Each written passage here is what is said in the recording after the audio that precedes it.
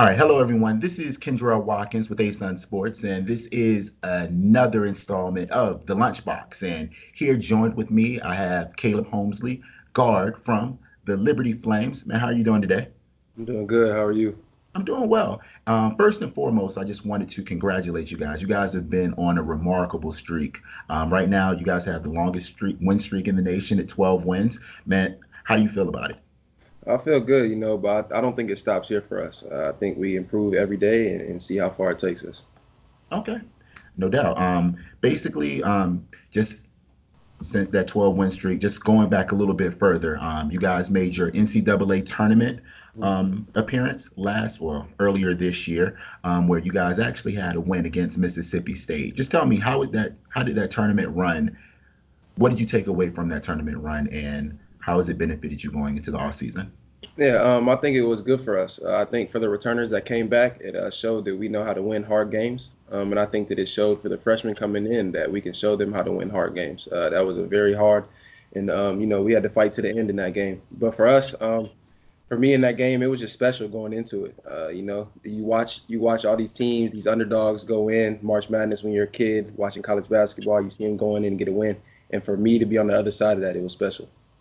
All right, man, no doubt. Because just looking back on that, I mean, you had a career high. You dropped 30 that game, man. Just tell me, what did that mean for you personally, just seeing that as a kid and just being in that stage? Yeah, it was crazy. Um, you know, I always I always grew up watching Steph Curry. Um, I okay. actually had season I actually had season tickets to uh, Davidson when I was a kid. while he was at Davidson, so I'd always see him do good in big games. Um, and I actually saw him and when they win the tournament. He was I think he was averaging 30 something in the tournament that year um, when they went to the Elite Eight. So just for me to do it, it was special. Um, and I think for my family, just you know, see everything I've been through in my career and, and for that kind of to, to just pan out the way it did, it was special. Yes, because I, I remember um, Steph Curry during that Davidson run, and yeah, he went insane. That was the first time I just seen someone pulling up from that deep. I mean, when he went to Golden State and I saw it, I was like, okay, I remember this from Davidson because during the fourth quarter he would just go crazy. So um, just tell me, since you know we're talking about NBA players, um, just growing up, who were some of the people that you modeled, um, like modeled your game after? Yeah, uh, I'd probably say Kevin Durant or Paul George. Uh, I like the way they play. I like the way Kevin Durant kind of stretches the floor, kind of he can get into a one-on-one game, but he can also come off screens. And then the way Paul George plays as well, um, the way he sets up screens, does different things on the offensive end and defensive end. Okay, and um, after your tournament run, I mean, you guys worked during the off season. Just what are some goals that um, Coach McKay set for you during the off season, and um, how has it benefited you going into the season? Yeah, um, I think for us as a team personally, we had to remember that it's a new season. Um, everything you did in the past season, it doesn't matter. Uh, you have to work to get to the end goal that you want to be at just for this next season. Um, I think he's done a really good job at that, at kind of reminding us like, hey, it's a new season. We have new goals, new challenges in this season. Let's move on from the next season. Got you. And just reading some articles and everything because I was actually um, reading an uh, ESPN article earlier um, about how Coach McKay he challenged you. Um, I yeah. believe it was after your freshman season, just mm-hmm. to work harder. And um, how have you grown just under his tutelage? Yeah, uh, I think he, he saw something in me that I didn't see in myself. Uh, I think that that I thought I knew the way coming into college. You know how you come in as a freshman and you think that you're good enough to play and at that point, I guess I wasn't ready, and and he stuck with that. Um, but I think for me and him, our relationship grows deeper than basketball, um, and I think that's kind of where I, I, I grew uh, as a man, and I think that's how I grew on the court uh, because when he started to trust in me, I started to trust in him uh, with what what his ways were, um, and even if I disagree with his ways, I knew that it was for my best interest. Gotcha.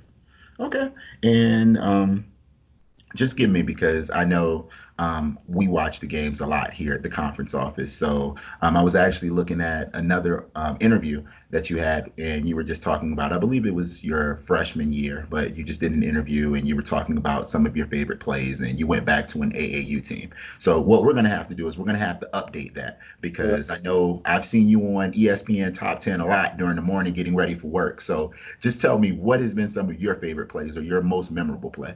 Yeah, um, I'd probably say my thousand point.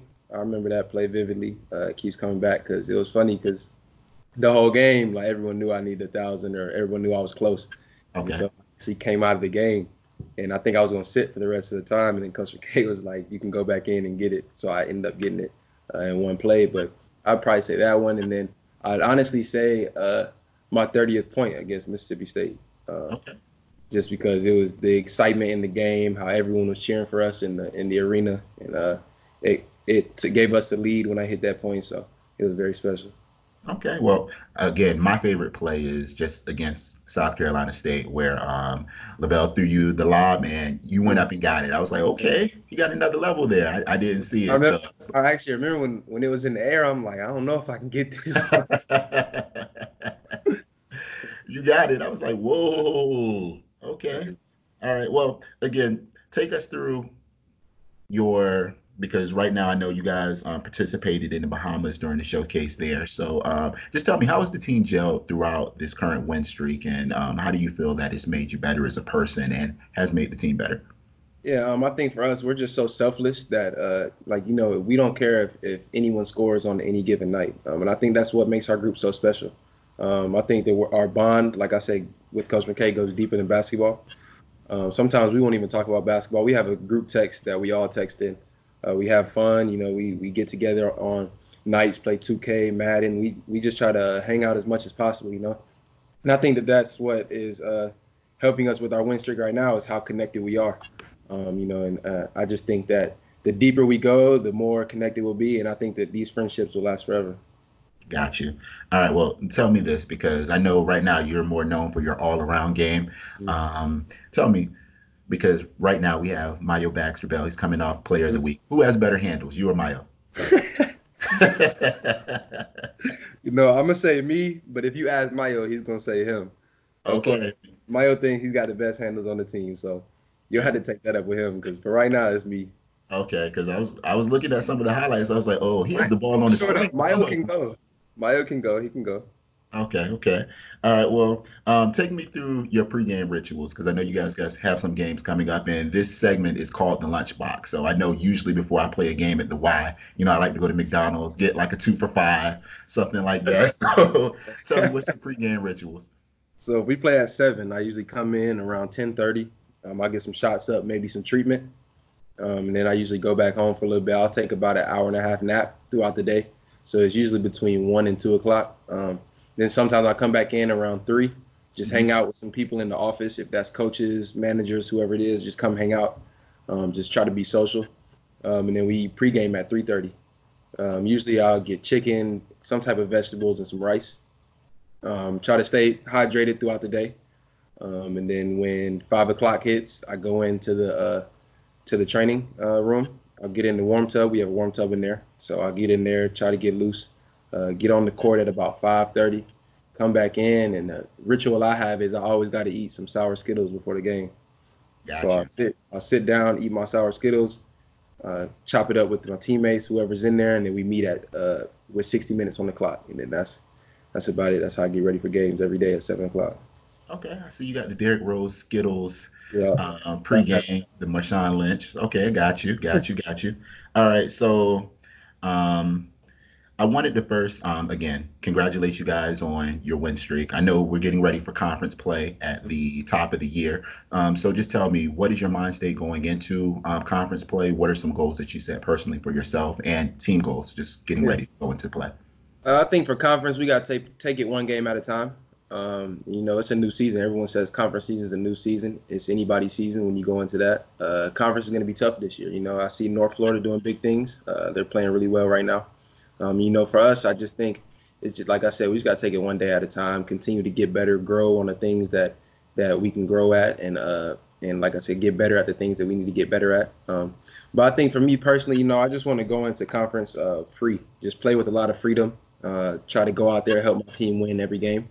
Um, if that's scoring the ball, scoring the ball. If that's assisting the ball, that's assisting the ball. If that's playing defense like at a very high level one night and not scoring, then that's that's what it takes. But for me, it's all about winning. Um, I know I got the the preseason player of the year accolade, but you know that preseason that preseason stuff can go to anybody. Um, and I think for me, like I said, I just got to continue to go out there and just be focused on winning. Okay, well, no doubt. Well, um, I wish you guys much success going into play. Um, I look forward to it. Um, there's there's some squads that I'm really looking forward to playing and giving you guys some competition. So um, I wish you guys the best. But again, thank you very much for taking time out of your busy day. Um, good luck in the DC Holiday um, Festival that you guys have coming up um, during Christmas. So again, this is Kendrell Watkins with another installment of the Lunchbox. Uh, make sure you guys tune in, follow us on all social media platforms.